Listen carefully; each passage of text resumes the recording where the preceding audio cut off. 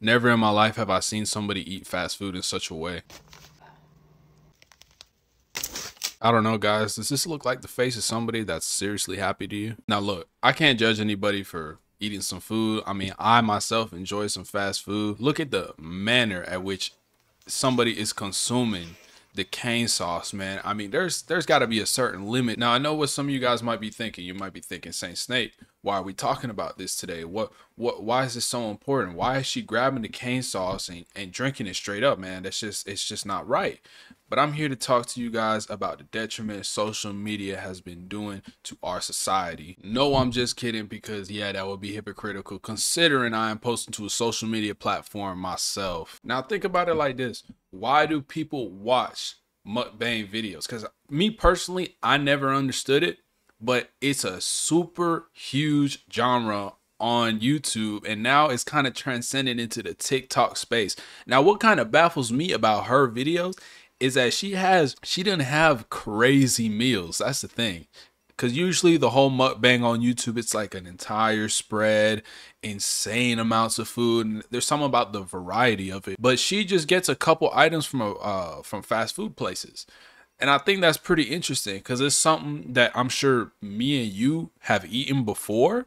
So I kind of don't understand all the hate that she's really getting, considering she's just getting like normal fast food plates I don't know if that has something to do with the the genre itself. You know, you're transitioning from long form videos on YouTube with lots and lots of food, but now you're on TikTok with more short form content, so you have it like smaller plates. At least that's how I'm kind of picturing why it's gotten to that point where she's just eating like a couple of items. Now, here's my thing I've heard people say in the past that they watch mukbang videos because it's kind of like they're having a meal with that person. They kind of feel like they have a social connection. I mean, in this age of people just being so critically online, the only time you can really feel like you're sat down and eating with somebody is when you're looking through your TikTok feed. That really is unfortunate. But I also feel like there's a different aspect to it. There's a stigma around YouTubers and content creators that, you know, work with food and they go from being healthy to being super unhealthy. Specifically in the case of Nikocado Avocado, people are trying to make it seem like she is going to be the next Nikocado Avocado. Now, I don't believe that one bit because Nikocado Avocado was, I mean, he was a completely separate character.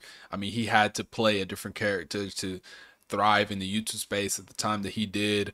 Uh, I think currently, right now, he is losing weight, but it was a shock to see how Nikocado went from, I think he was like 180 pounds to like being severely obese. And I don't mean to say that with no disrespect. I mean, he was, if, from a medical perspective, he was severely obese and he wasn't doing anything about it. I mean, he would still have these huge mukbangs. He would collab with people, people who are also bigger people, and just eating, eating, eating, eating. Now, this is where it gets to that point where it's kind of like a dilemma. Because at what point can you say that they're doing it for YouTube? And at what point can you say that they're doing it because they enjoy doing it? I mean, people eat insane amounts of food on and off camera. I mean, they people are going to gain weight regardless if they're getting famous for it or not.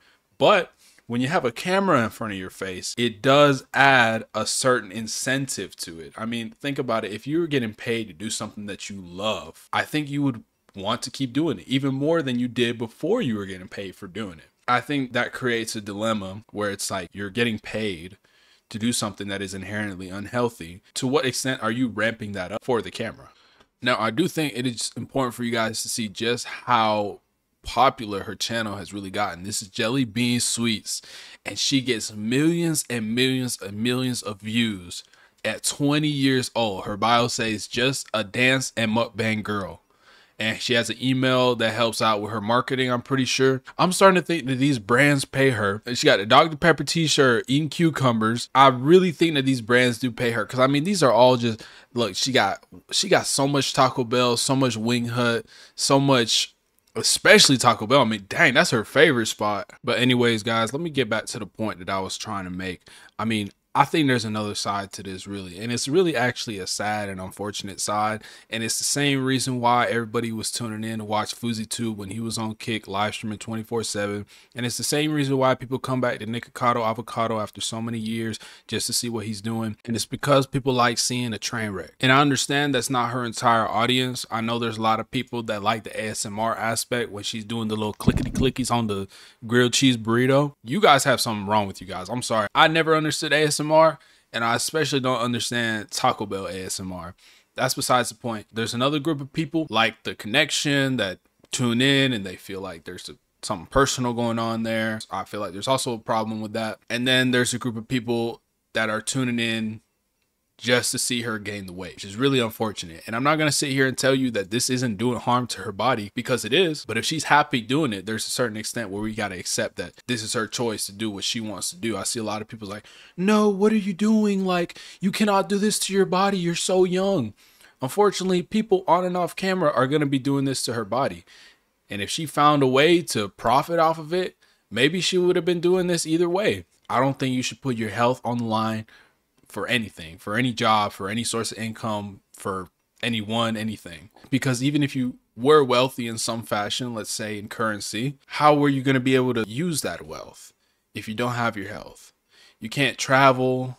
You can't do the things you want to do. You can't see the things you want to see. And your quality of life is just lower. Really, the main takeaway from this is prioritize yourself and be happy within your own confines. I mean, there's no telling that she's gonna go on to gain 400 pounds, be the next Nikocado Avocado. I think that's people just exaggerating the situation.